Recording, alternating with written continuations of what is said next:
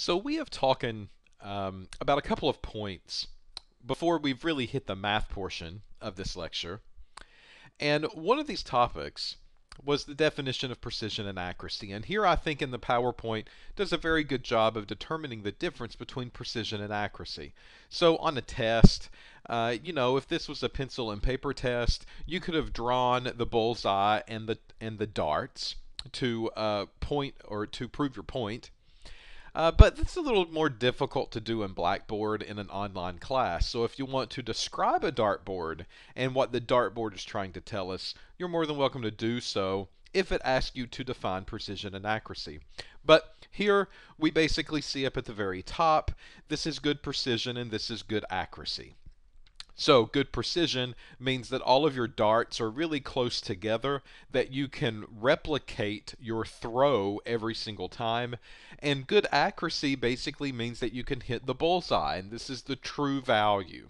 So good precision and good accuracy, they are completely different, and they do not have to relate to each other. So for instance, I could get a lab analyst in working with the company and they could have really good precision, meaning they could reproduce their result every single time without a problem. However, that result might not be accurate. So here we see a group of darts that are here on the dartboard that's very far away from the bullseye in the center. This represents good precision, but it represents bad accuracy. And then finally, down here below, this is our third set, and this is an employee that you do not want. You want to stay away from this type of employee because they just can't really do anything at all. And they can't really hit the bullseye, they can't really reproduce their results, so they're all over the place. This is someone that's drunk at the bar. Don't get near them, especially with a handful of darts.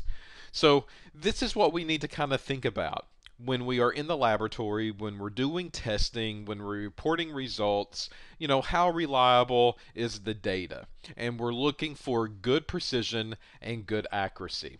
At the same time, we've also talked about the different types of errors. We said that no one's really perfect, and there are ways that we can get around that, and there's ways that we can fix that to make our numbers a little more reasonable or to make us feel better about the data that we are producing from the company itself. And these two different types of errors are called systematic and random. So systematic errors are what we call determinate errors, and random errors are what we call indeterminate. So they go by both terms, and we've discussed this already as well in a previous video. So systematic, they're called determinate. Well, they're called determinate because they're very easy to determine where they happen. So we know that there's a, maybe a mistake in the method that we're following, and that mistake we have picked up on. We've done that mistake every single time. So in the end, it kind of washes out, but there's something there that we can pinpoint and we can say, this is the problem, we know what's happened. Random error is a little different. Random is harder sometimes to pick up on, especially if it's truly random. So this is why we call it indeterminate. Uh, it's inconclusive where the error could have been. It could have been here, or it could have been there, or it could have been here.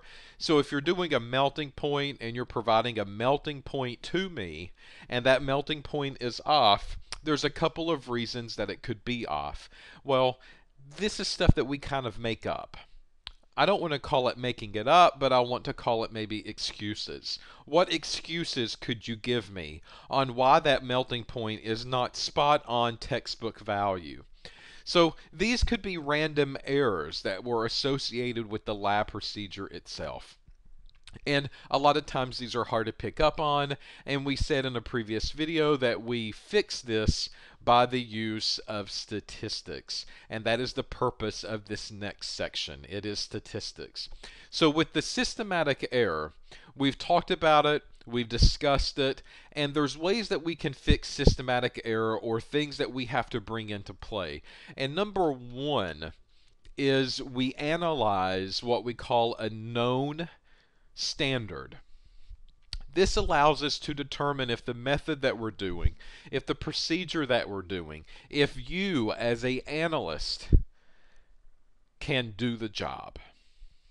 So what we do is that we order a standard, a reference material from an unknown or from a known company.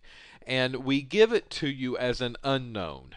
So this is part of quality assurance and quality control. Uh, two companies that we can order from. One of these is called NIST, an NIST standard. And NIST represents the National Institute of Science and Technology, and ASTM is the American Society for Testing and Materials. These two companies have at their disposal tons of different products. And these products all have a certain concentration of maybe something that I'm looking for. So, for instance, let's say that my job is to extract the cholesterol from an egg. All right. Well, how much cholesterol is in the egg? In order for me to feel good about what I'm doing, I would probably want to order a standard. Something that I know for sure that's very similar to an egg, if not an egg itself, and exactly how much cholesterol there is in that sample. The same way goes for a piece of coal. Let's say that I'm looking for the amount of sulfur. I can call NIST up or ASTM up, tell them what I'm doing, and they will probably have on hand a piece of coal with a certain amount of sulfur that they know and they will ship me this sample, and then I can process this sample and do my lab procedure or my SOP. Well, hopefully, at the end of this process, my numbers come out really close to what the accepted numbers are supposed to be. And that is the purpose of NIST or ASTM. They are companies that I order reference materials from. I know how much is in that sample, so therefore, when I do it, I should be getting the same values that they got. Uh, they often have this thing called SRMs. SRMs stand for Standard Reference Materials and these are typically used for calibration standards.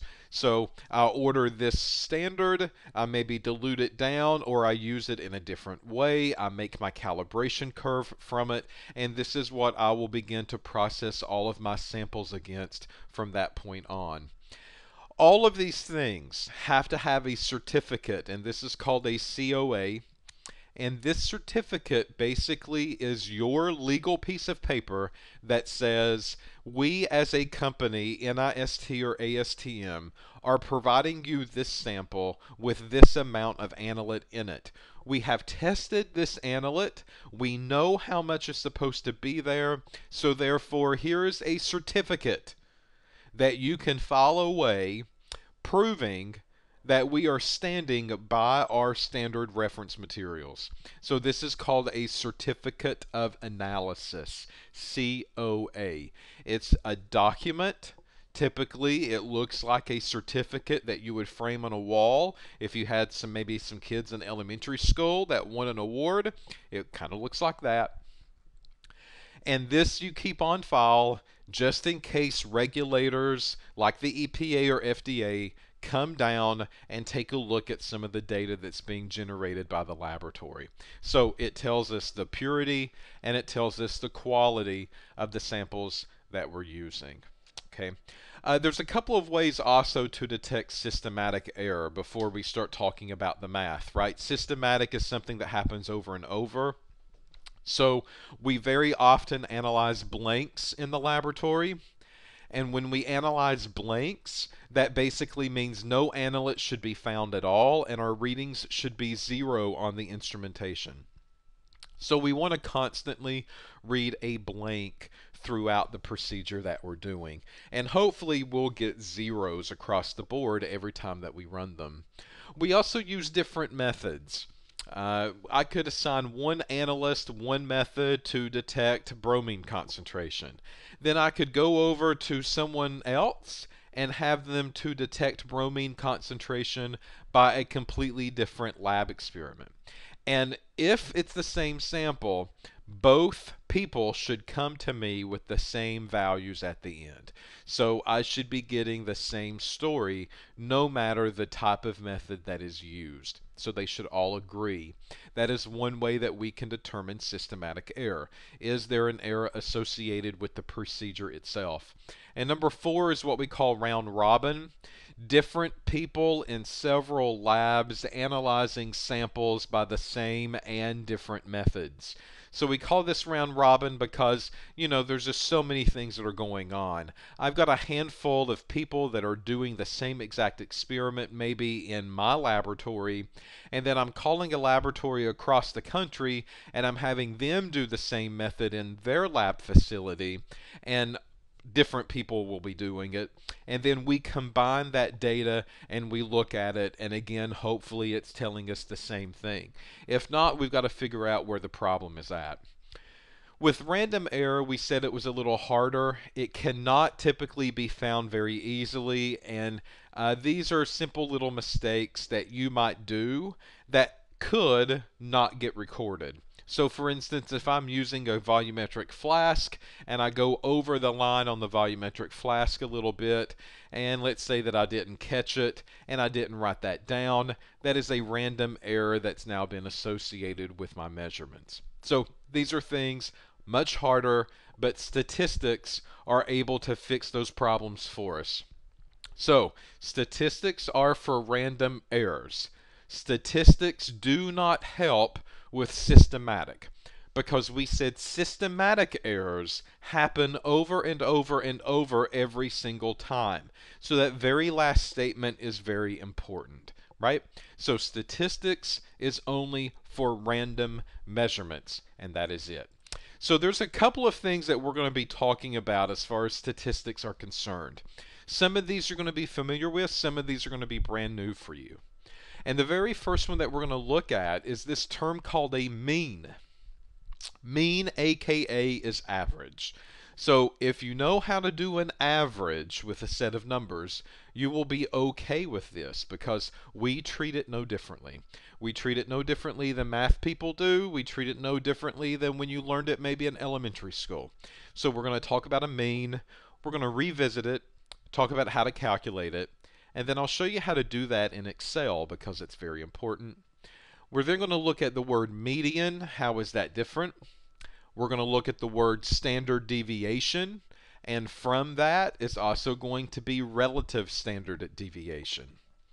So these are just a couple of terms that we're going to be looking at before we go on and talk about the more advanced topics in statistics that we will need as well.